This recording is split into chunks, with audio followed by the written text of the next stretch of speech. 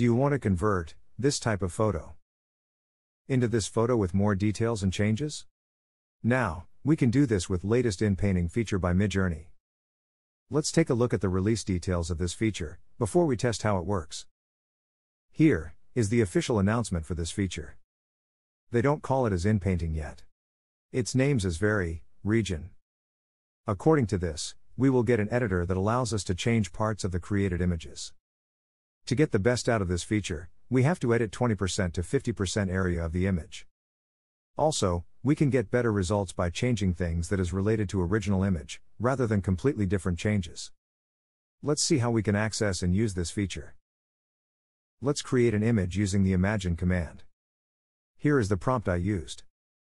A scenic countryside movie poster, depicting a man fishing in a small row boat on a misty lake, surrounded by forested mountains, reflecting on the still water, in the early morning light. Let's wait for Midjourney to generate the images. Now, we have four stunning images. Let's pick one of them. I am going to pick first one.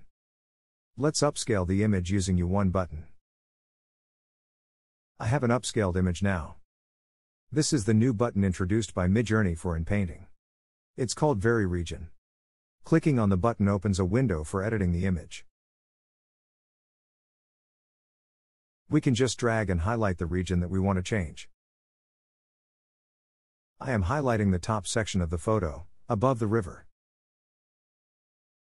Let's click Submit button and see what happens.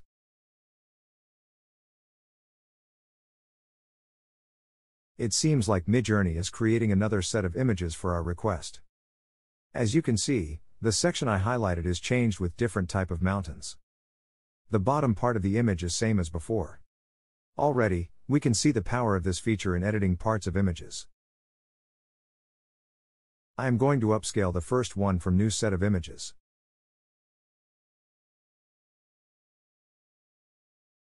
Let's modify this image further by using the in-painting feature again.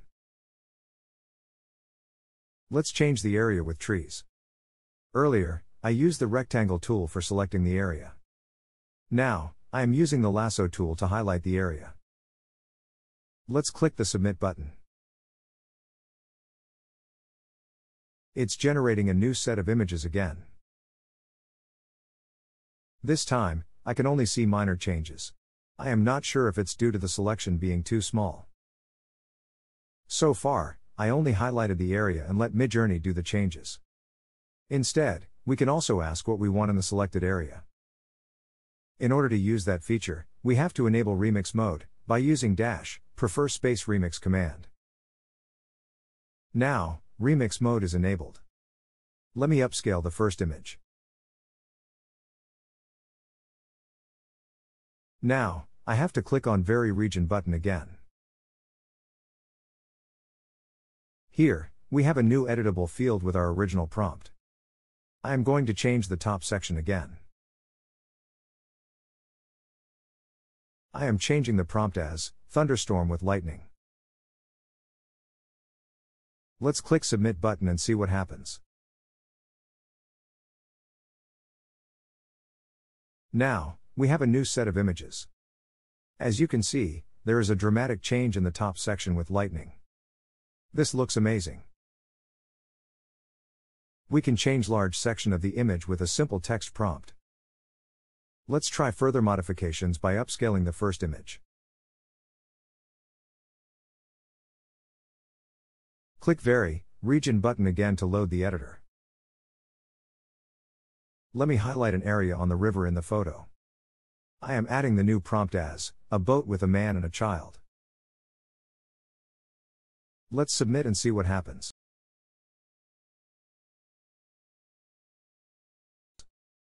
Awesome.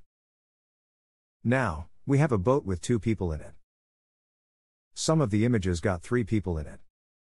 But, generally, it's extremely good at first release. Finally, I'm going to check if I can remove the boat on original image. Let me upscale the third option with two people in the boat. Now, I have to edit again using Vary Region button. Let's highlight the boat on original image. Now, I am going to submit with same prompt, without changing anything. Let's see how it goes. Now, we have the image with original boat removed. So, in this quick video, we were able to change an image, add more details as well as remove certain elements.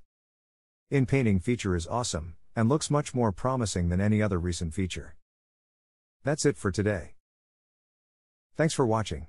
Subscribe to our channel and like this video to see more AI related videos.